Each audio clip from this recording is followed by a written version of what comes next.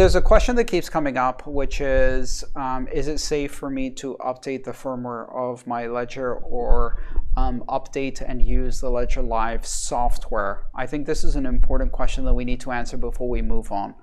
Um, any thoughts on yes, that? Yes, but not from an email that's told you to do it. Yeah, so uh, what Peter's talking about is there's been an email that was circulating yesterday that was an email that appeared to be coming from Ledger that said that due to this phishing attack, you should update Ledger Live and then had a link to malware. Um, so the phishers were phishing using their phishing as an excuse. Um, so how do you do the firmware update? How do you get the software? First of all, um, and this is important to understand, you do not need to use the Ledger Live software to use a ledger. There are dozens and dozens of software wallets that connect to hardware wallets, whether it's for Ethereum or Bitcoin or others. Um, and there are some concerns about um, the privacy related practices of using the vendor's software and what they can glean uh, in terms of which addresses you're interested in learning about.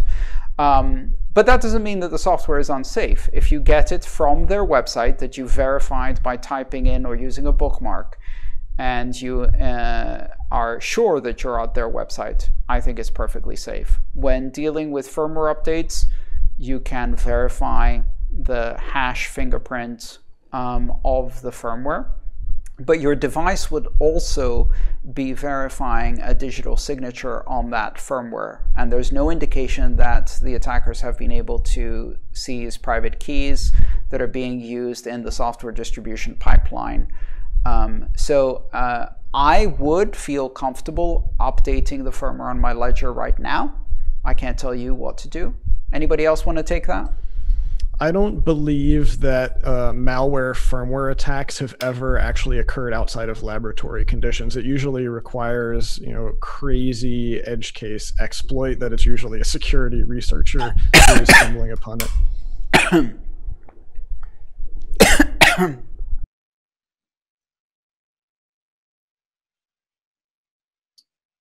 I'll just add on.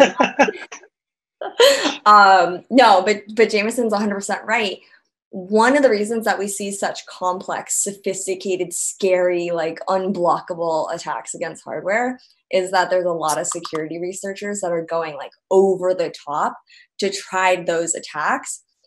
In reality, um, they they just don't happen because it's way easier to give you a Telegram link where you voluntarily hand over your seed. That's reality. The laboratories, the security researchers, they do really fun stuff it's super fun to think about.